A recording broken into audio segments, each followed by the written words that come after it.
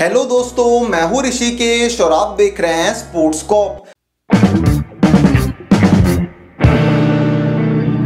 और आज इस वीडियो में मैं आपसे बात करने वाला हूँ द हंड्रेड क्रिकेट के मुकाबले की, जो कि खेला जाएगा Northern Superchargers versus Oval Invincibles के बीच में लीड्स के हेडिंगली क्रिकेट स्टेडियम के अंदर 31 जुलाई को रात के साढ़े दस बजे से और इस मुकाबले की लाइव स्ट्रीमिंग होने वाली है फ़ैन कोड के ऊपर। और अगर आप फैंटेसी क्रिकेट खेलते हो, आप मुझे टेलीग्राम पर ज्वाइन करना बिल्कुल मत भूलिएगा। वहाँ पे आपको द हंड्रेड क्रिकेट के मेंस मुकाबले मुकाबलों के अलावा वुमेन्स क्रिकेट के सभी मुकाबलों की फैंटेसी टीम मिलती है। साथ ही में इंटरनेशनल मुकाबले भी कवर होते हैं टेलीग्राम के ऊपर, जहाँ पे आपको अच्छी विनिंग करने को मिल सकती है। आपको बस सर्च करना है द स्पोर्ट्स कॉप और जल्दी से मेरे को टेलीग्राम पे ज्वाइन कर लेना है। और अगर आप फैंटेसी क्रिकेट खेलते हो तो आप उसकी टीम फ़ैन टू प्ले के ऊपर बनाना बिल्कुल भी मत भूलिएगा, जहाँ पे आपको सभी बड़े मुकाबलों के अंदर फ्री एंट्री मिलती है। कॉन्टेस्ट ज्वाइन करने के लिए, यानी आप बिना इन्वेस्ट किए विनिंग कर पाओगे। साथ ही में यहाँ पे एंट्री फ़ीस भी काफ़ी कम है, यानी काफ़ी कम पैसा आप इन्वेस्ट करो। विनिंग आपकी काफ़ी ज़्यादा अच्छी होने वाली है। उसके अलावा आपको यहाँ पे यूनिक फीचर मिलता है, जहाँ पे आपको 11 प्लेयर चुनने का हेडेक नहीं लेना है। केवल दो, तीन या चार प्लेयर की टीम बनाओ और विनिंग करनी स्टार्ट कर दो। तो इतने सारे फीचर है फ़ैन टू प्ले पे। डिस्क्रिप्शन में लिंक मिल जाएगा। अगर आप मेरा रेफर कोड स्पोर्ट्स को आप यूज़ करोगे, आपको बोनस कैश भी मिलेगा तो डाउनलोड करो फ़ैन टू प्ले को और विनिंग करनी स्टार्ट कर दो। अगर मैं बात करता हूँ पिच रिपोर्ट के बारे में तो कुछ ही दिन पहले इसी मैदान के ऊपर इंग्लैंड और पाकिस्तान का मुकाबला खेला गया था टी ट्वेंटी वहाँ पे ये पिच बल्लेबाजी के लिए काफ़ी शानदार रहा था तो उम्मीद करते हैं वैसा ही पिच होगा इस मुकाबले के अंदर भी।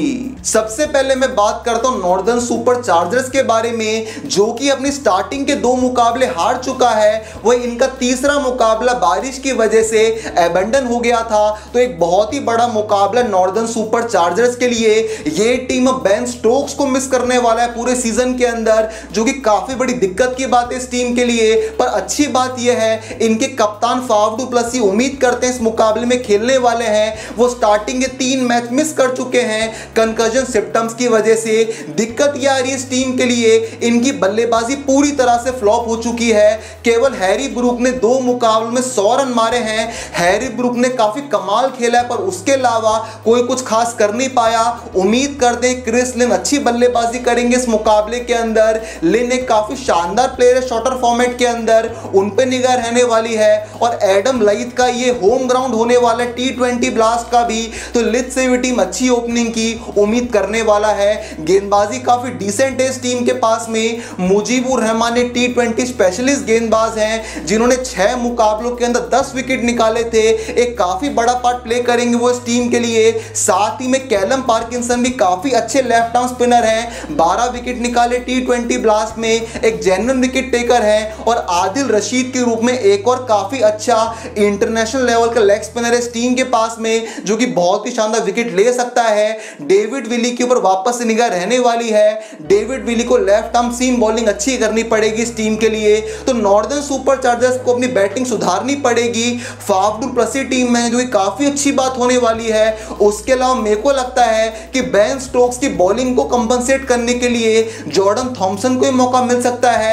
जॉर्डन थॉमसन यॉर्क शहर के लिए काफ़ी अच्छा खेला था टी ब्लास्ट के अंदर। तो अगर मैं बात कर लेता हूँ इनकी प्लेइंग इलेवन के बारे में तो नॉर्दर्न सुपर चार्जर्स के लिए ओपन कर सकते हैं एडम लाइथ और क्रिस लेन नंबर तीन के ऊपर आपके आ जाते हैं। फाफ डू प्लसी नंबर चार पे हैरी ब्रूक नंबर पाँच पे जॉश सिम्सन नंबर छह के ऊपर जॉर्डन थॉमसन नंबर सात पे डेविड विली फिर मुजीबुर रहमान खान, आदिल रशीद, कैलम पाकिस्तान और ब्राइडन कार्स तो ज़रूर से एक काफ़ी बड़ा मुकाबला नॉर्दर्न सुपर चार्जर्स के लिए।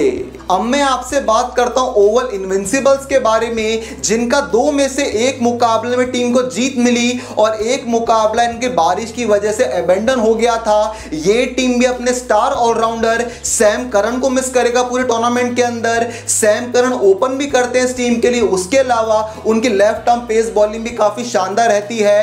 टीम की बल्लेबाजी रिलाय करने वाली है जेसन रॉय के ऊपर। रॉय काफ़ी शानदार फॉर्म में रहते पाकिस्तान के खिलाफ। उम्मीद करते हैं अच्छी बल्लेबाजी करेंगे। कॉलिन इंग्रम ने भी पहले हंड्रेड मुकाबले में काफ़ी तगड़ी बल्लेबाजी करी थी। इंग्रम में काफ़ी अच्छे टी स्पेशलिस्ट हैं। उनको एक्सपीरियंस है खेलने का। और सैम बिलिंग्स ने भी पहले मुकाबले के अंदर एक मैच विनिंग पारी खेली थी। सैम बिलिंग्स भी टी ट्वेंटी फॉर्मेट के काफ़ी अच्छे बल्लेबाज हैं। सुनील नारायण को पिंच हिटर का रोल मिलेगा इस मुकाबले के अंदर भी वो नंबर तीन पे बल्लेबाजी करेंगे। उसके अलावा उनकी स्पिन बॉलिंग भी काफ़ी शानदार रह सकती है इस मुकाबले में ओवल की टीम के लिए।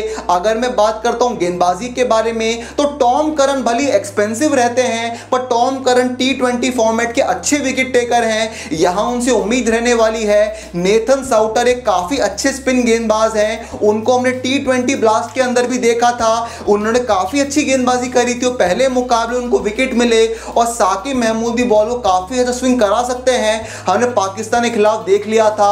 तो ओवल इनविंसिबल्स के पास भी कुछ काफ़ी अच्छे नाम है अपनी टीम के अंदर और ये टीम भी ज़रूर जीतना चाहेगा इस मुकाबले में। अगर मैं बात करता हूँ ओवल इनविंसिबल्स की प्लेइंग इलेवन के बारे में तो इनके लिए ओपन कर सकते हैं जेसन रॉय और विल जैक्स नंबर तीन पे सुनील नारायण, नंबर चार पे सैम बिलिंग्स नंबर पाँच पे कॉलिन इंग्रम नंबर छह पे लॉरी इवंस नंबर सात पे जॉर्डन क्लार्क फिर Tom Curran Nathan Souter Saqib Mahmood और रीस टॉपली तो ज़रूर से ओवल के लिए भी काफ़ी बड़ा मुकाबला है। आप कमेंट करके बताएँ मुकाबला कौन जीतेगा। वो टीम होगी ओवल इनविंसिबल्स, वो टीम होगी नॉर्दर्न सुपर चार्जर्स आप बताओ मुझे कमेंट करके और इस मुकाबले की फैंटेसी टीम आने वाली स्क्रीन के ऊपर।